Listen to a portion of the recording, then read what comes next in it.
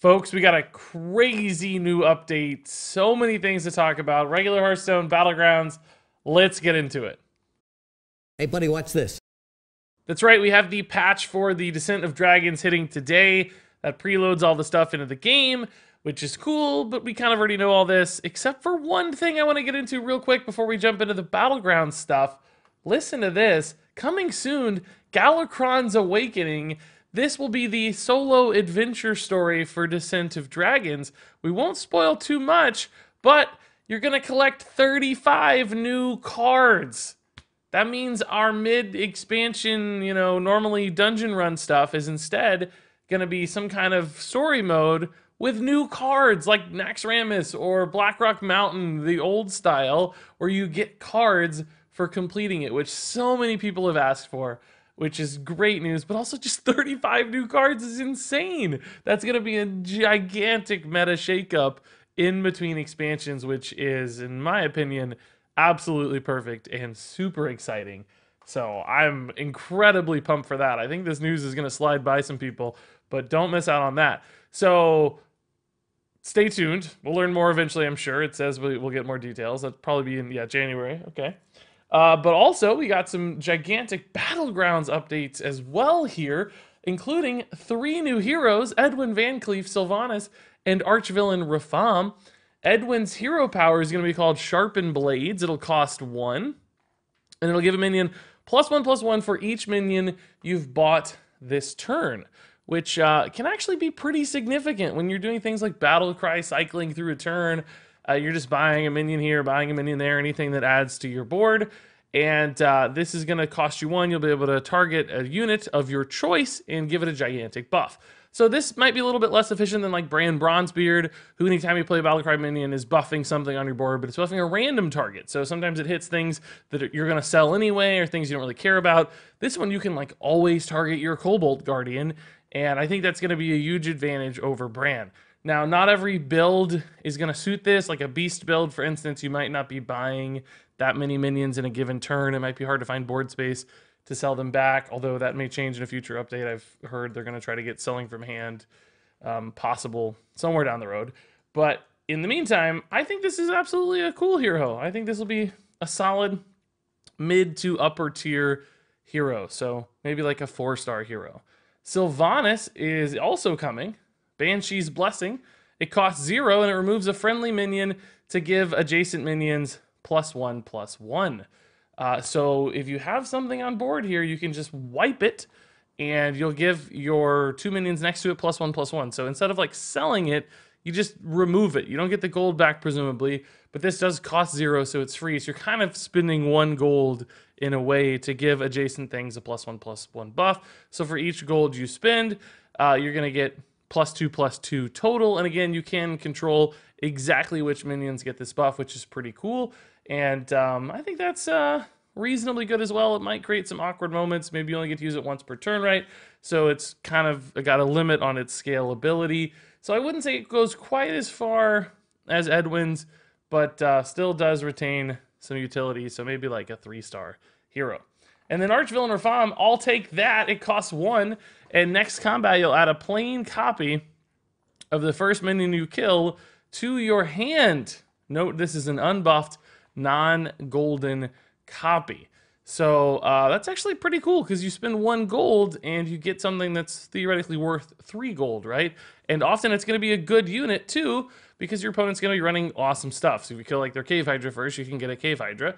And if you remember your opponent's fights well enough, then you might be able to essentially just um, target things by positioning the right way and trying to kill their Nightmare Amalgam first, whatever it is, right? Or swipe into something and kill it first. A Lightfang Enforcer at the end of their board, you can swipe it and kill it first. Although your opponent can also play around that. Now, I will say I think this lacks some utility in the late game because uh, like a non-buffed minion super late into the game isn't really going to add a lot of value to your hand other than just the ability to sell it, but you kind of spent the one gold anyway, so it's like, well, that's a wash. But in the early game, this could be pretty crazy getting an extra minion, some extra resources, something good to build around, all pretty powerful. So I would say Rafaam feels like a four-star hero. Also, we've got some heroes leaving, which are Patches the Pirate, Bartendotron, Pyramad, Professor Putricide, and Trade Prince Gallywix. My guess is These are lower win rate heroes that are leaving. And then heroes returning as well, which are um, Millificent Manastorm and Lich Baz'hial. Now, I don't know if this talks about it. Oh, it does. Okay, so I think Millificent's going to be nerfed. She's going to have plus one attack instead of plus one attack and plus one health. So she's coming back, but she's coming back considerably weaker. Now, for mechs, because they rely on Divine Shield a lot, the health buff maybe doesn't hurt as much, but it's certainly still, of course, significant. Health is often very important and sometimes more important in battlegrounds, but not necessarily when Divine Shields are in the equation. And then, uh, oh, we've also got some. Uh, I know I just skipped over these minions, but we'll get there.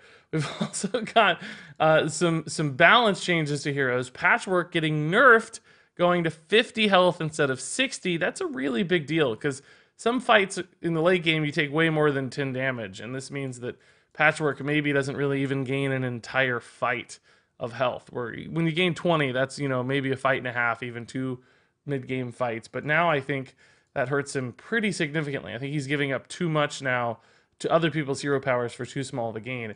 AFK getting nerfed. Instead of getting a Tavern Tier 4 and Tier 3 unit, she's instead going to get two Tavern Tier 3 units. That's a really significant nerf because Tavern Tier 4 has some big meaty stuff like the Security Rovers, uh, the Siege Breakers, things that win her rounds for like two or three rounds and deal, of course, extra damage as well. So that's a really significant nerf. Rat King going from plus one, plus two to plus one, plus one. Uh, that just kind of makes sense. Plus one, plus one has been the standard. Uh, Rat King was really strong. This is going to help uh, prevent him from taking so many value trades in the early game. I think that's a good change, but Rat King will remain strong. Lich Baz'hial actually getting um, getting buffed. She's going to take two damage when she hits her hero power now instead of three which uh, is actually a pretty significant difference, right? 33% buff, basically. And that'll help keep her alive a lot. And then Akazamzarak getting nerfed as well. Uh, Ice Block will be harder to get consecutively. We don't know exactly what that means. It's pretty broad, but uh, it was kind of frustrating sometimes to see, you know, four ice blocks in a row. So we've also got some new minions here. I will say, I think these are the golden versions of the minions that are not gold looking because floating watcher here this is not the default state of floating watcher. So uh, i think this is supposed to be a 6-3 that gives plus 2 plus 2 and this is a 4-4 that gives plus 2 plus 2 and these are the upgraded golden versions. But king bagurgle here is a 5 cost murloc now the only 5 cost murloc since uh, primalfin lookout got buffed and uh, it's pretty cool because he has a battle cry and death rattle effect which means when you cycle him onto the board as a battle cry you can kind of leave him there normally when you play Battlecry minion, it's just like stuck on board and you're kind of sad because it doesn't really do much. Like a Defender of Argus is just a 2 3 or whatever. But now with King Bagurgle, because of its death rattle, that means you can leave it on board after you've cycled it as a battle cry and it's still impacting your board. It's still going to buff stuff and uh, pretty significantly as well. It's kind of got the like Goldrinn buff on the death rattle plus the battle cry. So if you can start cycling these at tier 5 on the way to, say, your Gentle Megasaur at 6, then that's pretty powerful. This looks like a really, really good unit for Murlocs. And Murlocs aren't already in a bad spot. They're pretty solid. And we also have Floating Watcher incoming uh, for demon builds here. Uh, this guy is perfect for heroes like Lich Baz'hial, where you're damaging yourself, or Wrathweaver, where you're damaging yourself, and it can scale really, really fast as a tier 3 unit, which is nice. You get some big stats probably between Wrathweaver and this scaling. Demons can get really big really fast, the challenge is still going to be, though, that this is very weak to Poisonous and very weak to Divine Shield. So I don't know that this really helps Demons in the late game, but it probably does bolster their mid game a lot so they can just like crush opponents in the mid game. And then hopefully that's enough to play for like a top four position, even if you're not intending to win the game. So certainly still a high utility uh, unit for Demons. So those are both welcome additions. We also have uh, stats here now, apparently. I mean, we'll check these out in game. I don't think there's a lot to talk about here. Note on performance, uh, continuing efforts to improve. There is a new in game shop. Again, we'll just check this out in game. I haven't seen it yet, but uh, apparently it's going to have some pretty cool new stuff alternate heroes, etc. Oh, that's not rolling out yet. That's going to roll out December 9th and 10th with the new expansion, potentially. We also have uh, Tyrande returning, which so many people want. Uh, you just claim Tyrande for free by going to the new shop. Oh, sick. Okay, awesome. And then also Sylvanas is here for $10. Sylvanas, Windrunner, Hunter, Hero, and Cardback. This got spoiled a little bit, but she looks awesome, and she is indeed for Hunter. Uh, and then the current heroes for sale are rotating on the 10th. We kind of already knew that. Stuff's going back to Wild. We knew that. There's a Winter Veil celebration with the creepy new tree bundle. We knew that. There's an arena rotation here. Not going to spend too much time on that because I can't really provide valuable insights. Oh, this is an important change. Echo is being nerfed, which is ironic given the uh, the uh, Carterville stream yesterday where there was a very severe echo for the first 10 minutes. Uh, so copies of echo cards can no longer cost less than one, nerfing essentially, um, you know, uh, snip snap warlock in wild format where you can do crazy stuff. It's kind of funny. I recommended this change in a YouTube video like a year ago because somebody gave me some flack in a custom card video where they were like, if this card goes to zero Regis, it's infinite damage. And I was like, well, I don't know, just cap Echo at one. Who cares? Like, it's easy to make that change. And here we are, a year later, that happened. so um, uh, you're going to get full dust refund on three cards, which is pretty insane. That's kind of cool. Good for them. Uh, particularly Snip Snap is, uh, oh, normal only. So the gold version you got for free, you don't get dust. That would be a lot of dust, so kind of makes sense. Uh, Zephrys improvements are coming. That's cool. I'm not going to get into a lot of detail on these. Got some bugs where new cards are getting offered. So Faceless Manipulator and Shadow Madness, King Krush, etc. That's pretty cool. And um, Battlegrounds, we had some fixes. Uh, oh, Replicating Menace is going to be doubled now, actually. That's pretty awesome. Uh, Ice Block can no longer trigger during the recruit phase, so don't accidentally kill yourself. And uh, Let's see.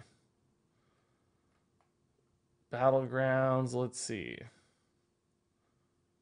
Let's see. Uh, these are not battleground changes. This is Shirvallah and weapons. I was gonna say these things don't make sense for battlegrounds, but these are the battleground changes.